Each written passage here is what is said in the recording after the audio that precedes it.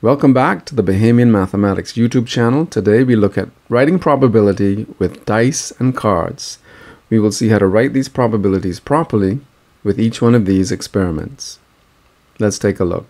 In a previous video we mentioned that probability is written between the numbers 0 and 1 or between 0% and 100% and we showed a number line that went from 0 to 1 and we said that in the middle is a half.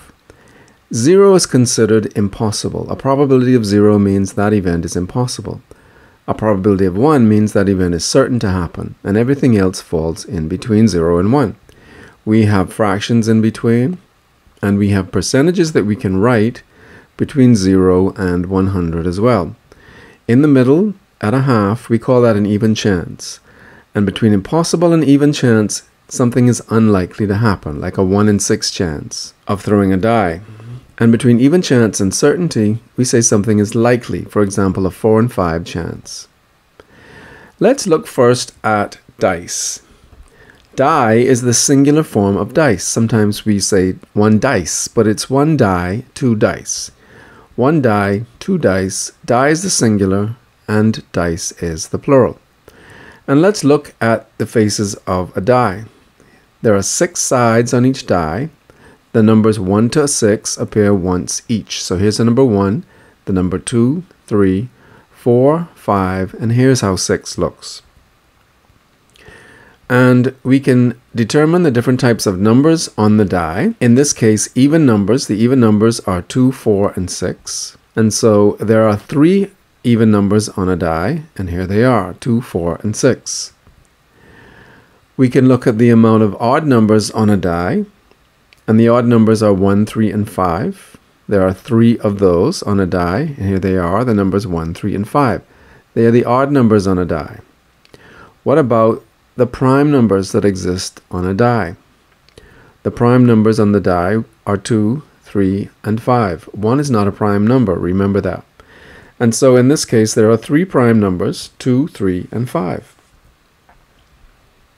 And so when we write probability as a fraction, we ask ourselves, what is the probability that you will roll a 4 on a fair die? And from a previous video, we said that the probability of an event happening, the formula is the number of favorable outcomes divided by the total number of outcomes. And so in this case, the probability of rolling a 4 is equal to how many faces have the number 4? There's only one face that has the number 4, and so we write 1, divided by how many total faces are there? Well, there are 6 faces on a die. So the probability of getting a 4 is 1 out of 6. Written as a decimal is 0.1666. Written as a percentage, 16.6%. And as words, there's a 1 in 6 chance that you will roll a 4. So let's look at the faces of the die one by one. To roll a 1, there is a 1 in 6 chance of that happening. As a decimal, 0.1666, as a fraction, 16.6, or in words, one, a 1 in 6 chance of that happening. Let's look at if we roll the number 2. We know there's only one 2 on the die, and again, the probability of getting that is also 1 over 6. The decimal, the percent, the words are all the same. Rolling a 3. There was only one 3 on the die out of 6, and so the probability of rolling a 3 is 1 out of 6. And by now you can see a trend happening. The probability of rolling a 4 is 1 out of 6. The probability of rolling a 5, 1 out of 6. There's only one 5 on the die. The probability of rolling a 6 Yes, 1 out of 6. It's the same as all of the above. So you can see that the chance of getting any of the numbers on a die are all the same. 1 out of 6. There's a 1 in 6 chance that you will roll one of the numbers on the die. And so what is the probability that you will roll an even number on a fair die? We looked at even numbers in a previous slide. How many even numbers are there? The numbers 2, 4, and 6 are even, and so that is 3. How many total faces are there? 6. So the probability of getting an even number is 3 out of 6, or 0.5, 50%. There's a 3 in 6 chance that you will get an even number when you roll it. What's the probability that you will roll an odd number? Probability of odd is equal to how many faces of an odd number? The 1, the 3, and the 5 are odd, so that's 3 numbers. out of a total of 6. Again, 3 out of 6 or 0.5, there's a 50% chance, a 3 in 6 chance that you will roll an odd number. What about a prime number? What is the chance that you will roll a prime number? How many prime numbers are there on the die? The 2, the 3, and the 5 are prime, and that makes 3 numbers out of 6. And again, we have a 50% chance of rolling a prime number. What about a number less than 3? How many numbers are there on the die that are less than 3? Let's write the numbers 1 through 6. The numbers less than 3, that means not 3, not 4, not 5, not 6, less than 3, 1 and 2. And so that makes two numbers that are less than 3 out of a total of 6, giving us a probability of 2 out of 6, or 0.333, or 33.3%. There's a 2 in 6 chance that will happen. What about the probability of rolling a number more than 6 on a fair die?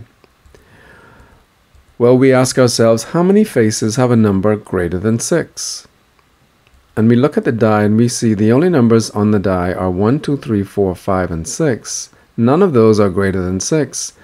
And so it is a 0 out of 6 chance that we will roll a number more than 6 on a fair die. That makes that impossible. 0 out of 6, 0%, no chance. This is impossible to roll a number more than 6 on a die because the only numbers on the die are 1 through 6.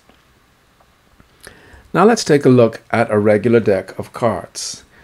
A regular deck of cards contains four suits. They are hearts, diamonds, spades, and clubs. In each suit, there are 13 cards. They range from the ace, and then they start at 2, 3, 4, 5, 6, 7, 8, 9, 10, a jack, denoted by J, a queen denoted by Q, and a king denoted by K. If you count all of those, there are 13 cards. So we have 13 hearts, 13 diamonds, 13 spades, and 13 clubs. They each go from ace then from 2 all the way up to 10, and then Jack, Queen, and King. Sometimes the ace is known as a 1. There are four of the same card in the deck. And so here are the four aces, for example. Here are four fives, the five of hearts, five of diamonds, five of spades, five of clubs. There are four jacks. Here they are. There are four kings in the deck. Here they are. Let's look, for example, at how many red kings there are. Well, we can see that there are the King of Hearts and the King of Diamonds. There are two red kings. Let's look at the black jacks. Here are the two black jacks Jack of Spades, Jack of Clubs. There are 12 face cards. Now, sometimes people get this confused because they count ace as a face card. In this case, there are no faces on the aces, and so we don't call them face cards. The face cards are the cards with an actual person or face on them. In this case, we can see here are the face cards. There are three hearts, three diamonds, three clubs, three spades. That makes 12 face cards in the deck. How many red cards are there? Well, we know there's 13 hearts and 13 diamonds. 13 and 13 is 26. There's 26 red cards. How many black cards are there? Well, there are 13 spades and 13 clubs. That makes 13 plus 13 is 26 black cards all of that was important because when we talk about probability using cards, we're going to need to know the facts about what exists in the deck. So let's take a last look at the cards before we start some problems involving finding probability with cards. What is the probability of choosing from a deck a king from a deck of cards? So we write this as P brackets king equals we ask how many kings are there in the deck? Well, we remember from the previous slide there are four kings, the king of hearts, diamonds, spades, and clubs. There are four of them, and so we put four out of how many cards are there in the deck?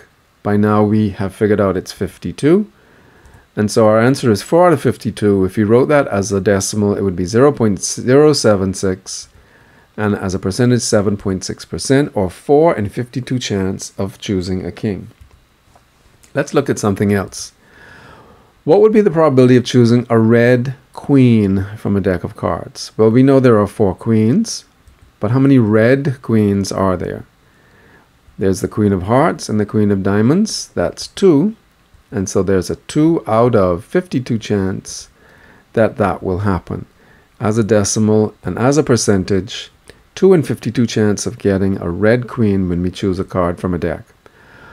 What would be the probability of choosing a face card?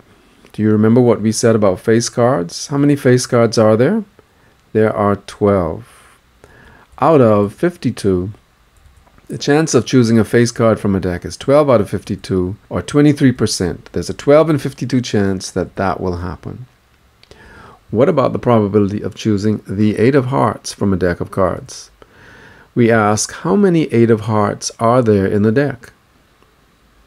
Well, there's one Eight of Hearts out of a total of 52.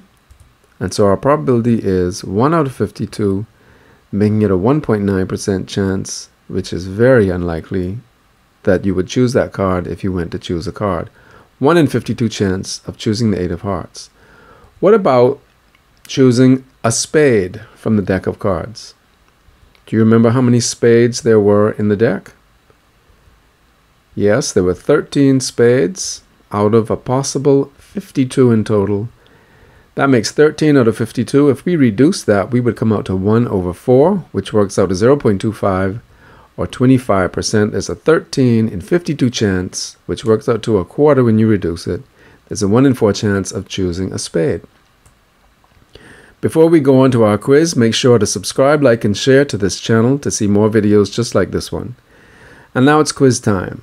What is the probability that you will select a red 10 from a deck of cards?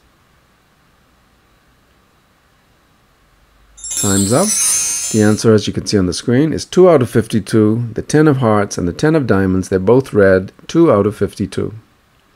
Number 2, what is the probability that you will select a black face card, not aces, from a deck?